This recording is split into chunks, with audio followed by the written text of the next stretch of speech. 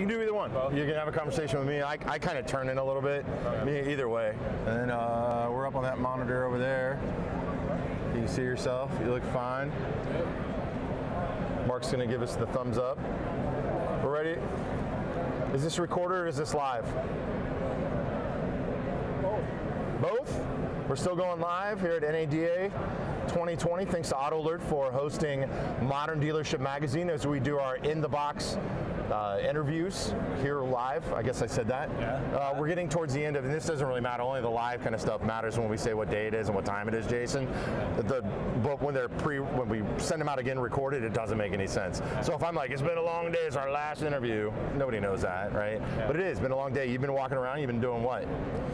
Ah, networking. Yeah, networking? Biggest Thing, yeah, yeah. We got clients that were taking, finally meeting in person. Yeah. know, when I first started, I used to sell all the accounts, got to know them, but now we, we got accounts. How can you scale LotPop? Because you guys are like hands on. Yes. It's not automated, right? It is hands on. How's that scale out? Well, a little bit. Uh, we're, we just released in the software. All the data that we've been pulling for six years now, uh, we've been tracking and training, putting in a software that the dealer can use on a daily basis. So I think it's going to help us scale a little bit more. We do an hour call every week with our stores. Yeah, see, that's So, where the yeah. scalability is. Like, Yeah. that's.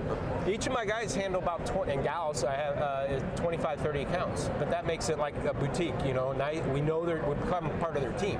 So when we're doing those hour calls and stuff, that's that's the biggest asset. Every dealer told us we love the reporting, we love the data, but it's the calls. It's when you actually get on and get in our face and make us. And you handle, basically, you handle everything for the dealer when it comes to the internet shopping process, correct? Uh, yes, I mean we uh, we consult dealers on internet process management, but our biggest and the new car inventory management, but our biggest portion of the business is used car inventory management, Right. Because there's more flexibility there. So how it's how it's merchandised, how it's priced, and keep that inventory turning. So Speaking of used car, or just speaking of internet altogether, well, used car. Yeah. Why is and I just I just pulled it up again. I saw you wrote uh, an article um, based off of my conversation with Rick Reichert, either last year or the year before that, when him and I were talking about internet pricing, Yeah. and some dealerships still not putting their price on the on the it, and and you wrote from that, but then you referred to an article that you wrote in 2005. Correct. This has just been why why is it? I know that dealers are worried about leaving money on the table, Yep. but why is this such? Why is nobody grasping that? It's that you have to put your Now, prices. And just to give a little content, to that I, you know, I started in 1997. I was doing internet sales in '98. I was doing articles in Dealer Magazine in 01, 02, and all the stuff that I wrote about that. Back when Jim Ziegler said that I the could- internet would not sell a car. Exactly. and now he, yeah, now he's got the internet battle plan. Yes, and so Sorry to be yeah, off there. I've actually I remember that day of too. my old old ma- magazines, Yeah. and, and the articles are still relevant today. I'm like, man, it's 15. Why has it 15 changed? plus years, and it's I don't know. Anyone can say it's job security almost, you know, but you know, for us to help help these dealers. Well, I understand there, that, and I know. I know that. Uh, so my grandma would have a garage sale, right? Yeah.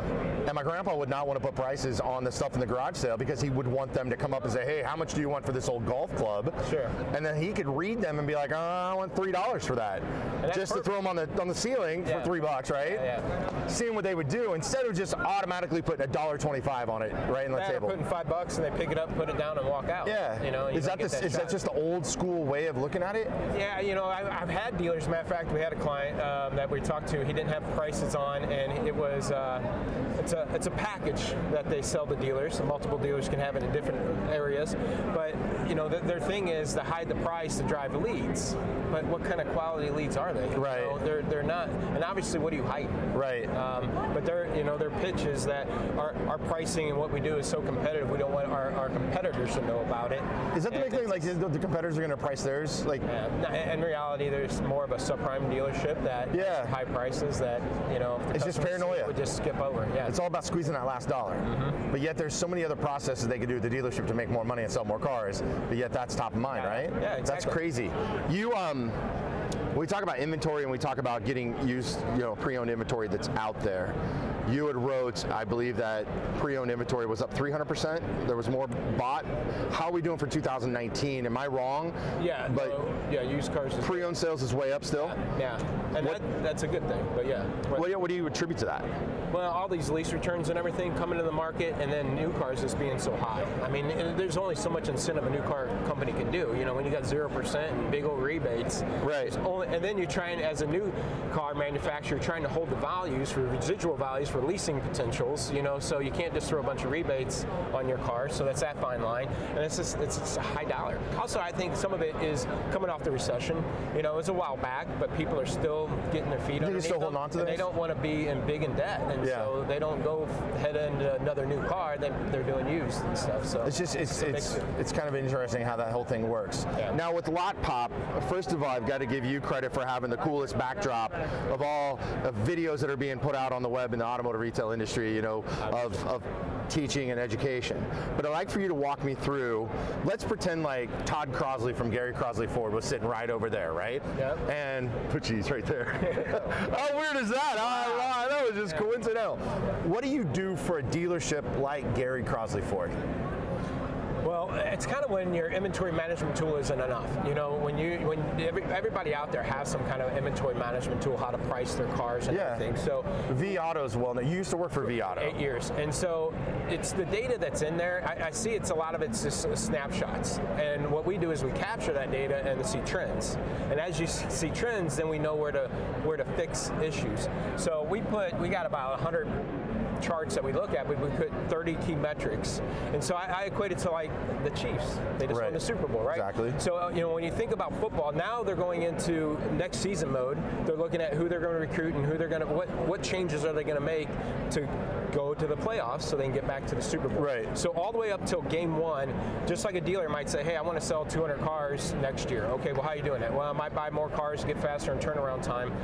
Just like the Chiefs are going to make adjustments now, but when it comes to week one and they got the Raiders, they make adjustments to the Raiders. Maybe they got a strong secondary and a, and a, a, strong uh, special team. So that's what you're doing. They win. Then win. They win that week. Next week they adjust to the Chargers. They don't talk about playoffs anymore.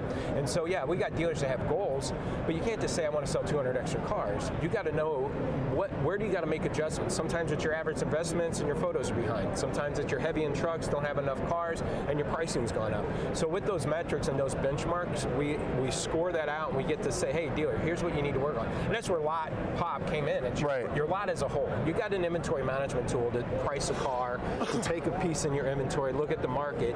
There's plenty of those, but no one's really looking at the lot holistically and saying, okay, what adjustments do we need to make? Who are we playing this week? What adjustments? Win this week? And just keep moving the needle. Gotcha. Our stores will. I mean, we want them at least sell what they carry. You get 100 cars, we're going to sell 100. But a lot of our stores do 125. You know, we're just talking to a dealer selling 60 with 40, and his grosses, everything's up. I don't want to put you in a difficult position, which Yeah. I, I might with this question, but you do not have to answer this question. In fact, you can just either say no or because I've heard it from different dealers, and I know you used to work for vAuto. Mm-hmm. I know that pre-owned, pre-owned inventory and understanding the pre-owned um, side of sales is absolutely you're just that's where you're at. Is vAuto killing gross on the pre-owned inventory? No.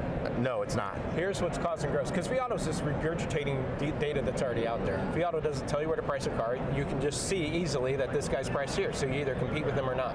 What I think is killing dealers gross, um, and this might put me on a limb, but I think it's the dealers without an aging policy. Because when you go look at a car that you're competing against, the top three or four guys in that in that competitive set had it for 90 and 100 days, and they're blowing it out. So now you either got to compete with them, Yeah. or you sit and wait for his to sell and your price becomes relevant. But in the meantime, as you sit and wait, your car depreciates. So by the time he blows his out, you're Right. at 60, so now you're blowing yours out, and the next guy's doing the same thing. So if everybody had an aging policy and would have a 60, you know, 30 day supply of cars, uh, you would everybody could buy and sell at current market values.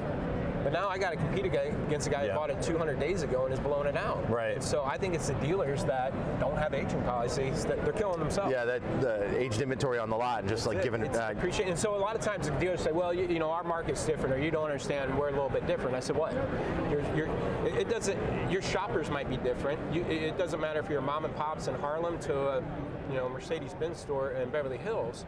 It's a depreciating asset at every location. Absolutely. You might have a different customer clientele, subprime versus highline, whatever, but it's a depreciating asset. The sooner you get off it, the better. And the guys that hold out are killing everybody else.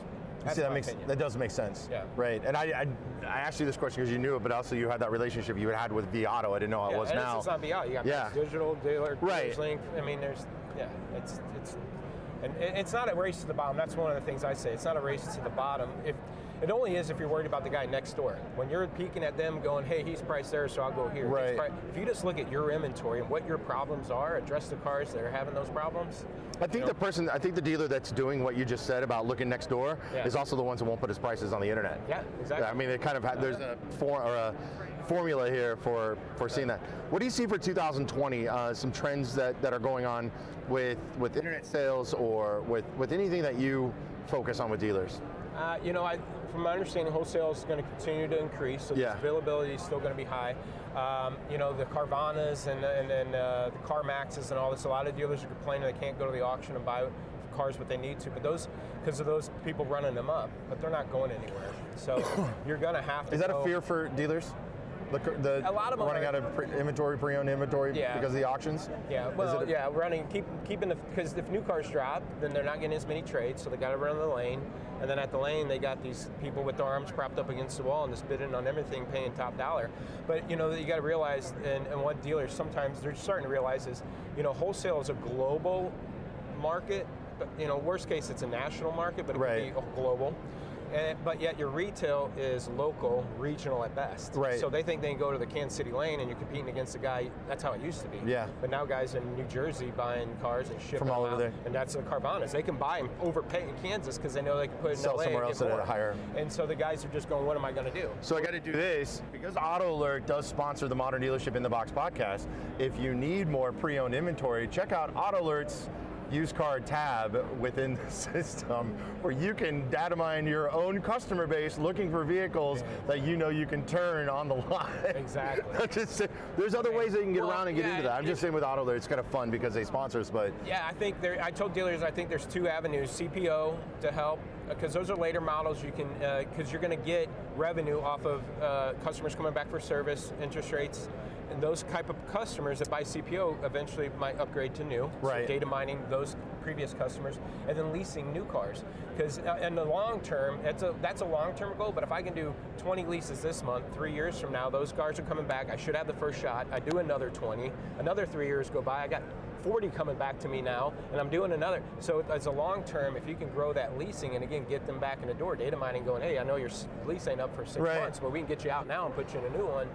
I know I know global might be a little bit out of your, your reach, but I do know that the United States was a was a big um, they were turning a lot of pre-owned vehicles overseas to uh, nations in Africa, in the Middle East, that they're able to take excess with all these, you know, when we got to, and that must be slowing down now if today's dealer is fighting against Carvanas in the, that, that are trade outside. Yeah. I should have asked Howard Hakes that. He was here with AIDA earlier about how that trade.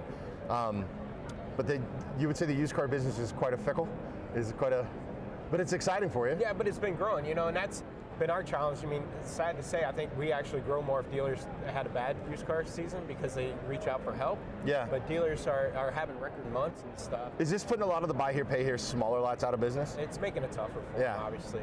Um, but you know, when everybody's having good months, it's hard to look at their flaws and see that there's uh, actually more potential there with more growth and more volume um, because of these record months. And it's it's a short memory. It's it's crazy Yeah. how everybody forgot what happened in the recession and how they had to be very disciplined with those dollars. You know, when I started with vAuto in 05, 06, it was right before the recession. In 08 hit, we kind of took off because dealers didn't have new Right. cars. And they really focused on it and made sure, you know, when that cash flow was gone, they had to make it up and, and use. Yeah. And now it's getting sloppy again. I, I fear for that. But We'll see what happens. Yeah. I need to ask you, um, where'd you watch the game? Because you're a Oh, Kansas City guy. home, Yeah. Were you at home? Good. Yeah. Yeah. I was home with family. It was good though. Yeah? It was a good The family get into it? Oh yeah. Yeah? My wife and everything. Yeah. Did you guys get a chance to make it downtown for the parade?